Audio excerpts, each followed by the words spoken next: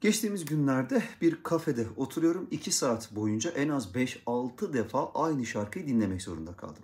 Arkasından bir taksiyle bir yere geçmek zorundayım. Takside aynı şarkı çalıyor ki şarkıyı söylemeyeceğim bu arada. Çünkü zihninize bilinçaltınıza girmesin diye. Sonrasında işte otele geliyorsunuz. Farklı bir yerde yine karşınıza çıkıyor vesaire vesaire. Fakat ben bu şarkıyı hiç sevmiyorum. Hatta onu söyleyen kişiyi de pek sevmiyorum.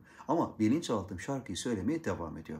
Özellikle YKS'ye son bir hafta kala yerinizde olsam sözlü müziklerin çok büyük kısmından uzaklaşırım. Çok büyük kısmından.